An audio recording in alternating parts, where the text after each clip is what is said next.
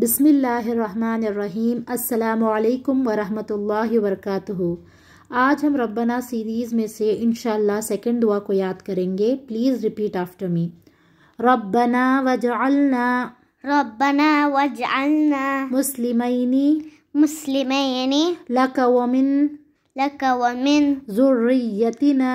ذريتنا امتا أمة مسلمتا لک. مسلمة لك وأرنا وأرنا مناسکنا مناسكنا. وتب علینا وتب علينا. انک ان إنك أن أنت التواب الرحیم أنت التواب الرحيم. ربنا وجعلنا ربنا واجعلنا مسلمين. مسلمين. لك ومن لك ومن ذريتنا ذريتنا أمة أمة مسلمة لك. مسلمة لك. وأرنا وأرنا مناسكنا. مناسكنا. وتب علينا. وتب علينا. إنك إنك أنت أنت التواب الرحيم. التواب الرحيم. ربنا وجعلنا ربنا واجعلنا مسلمين لك.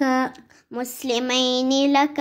ومن ذريتنا. ومن ومن ذريتنا. يتنا. يتنا. أمة. أمة. مسلمة لك.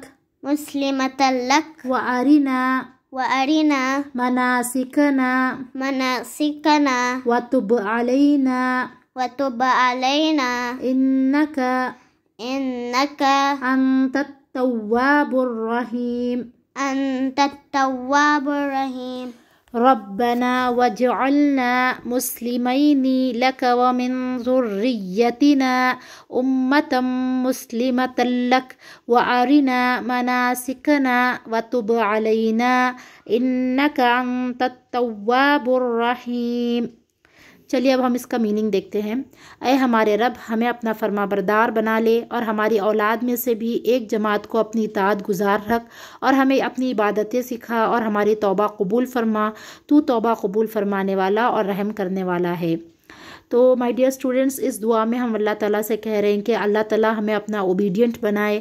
ہمیں کسی کی بھی عبادت نہیں کرنی ہے، کسی کو بھی اوبے نہیں کرنا ہے سوائے اللہ تعالیٰ کے۔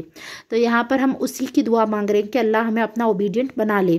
اور ہماری جو اولادیں آئیں گی فیوچر میں، جو بھی اللہ تعالیٰ ہم، جو بھی ہماری فیملی ہے، اللہ تعالیٰ سب کو جو ہے اللہ کی عبادت کرنے والا بنائے اور اللہ تعالیٰ ہماری توبہ کو قبول کرے۔ جب بھی ہم کوئی غلط کام کرتے ہیں یا ویسے بھی ہم یوزولی جو ہے اللہ تعالیٰ سے استغفار کرتے رہتے ہیں، اللہ سے اپنے گناہوں کی معافی مانگتے رہتے ہیں۔ جب ہم کچھ بیڈ کرتے ہیں تو ہمیں فوراً اللہ سے معافی مانگنی ہے اور ویسے بھی اللہ تعالیٰ سے ہمیشہ معافی مانگتے رہنا چاہیے۔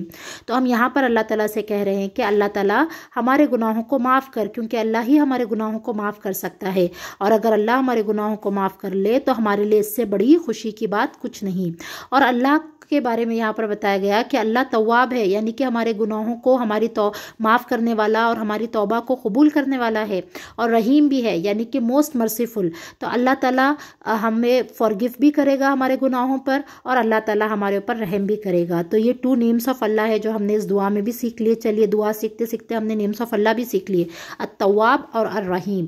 تو بیسیکلی اس پوری دعا میں ہم جو ہے اللہ رب العزت سے کہہ رہے ہیں کہ اللہ ہمیں اپنا اوبیڈین بنا کر رکھے، ہماری فیملی کو ہماری جنریشنس کو اللہ تعالیٰ اوبیڈینٹ بنا کر رکھے اور ہم تمام کو اللہ تعالیٰ اپنی عبادت کرنے والا بنائے۔ اللہ تعالیٰ ہم تمام سے راضی ہو، ہماری دعاؤں کو، ہماری توبہ کو اللہ تعالیٰ قبول کرے، یہ ہم اس دعا میں مانگ رہے ہیں۔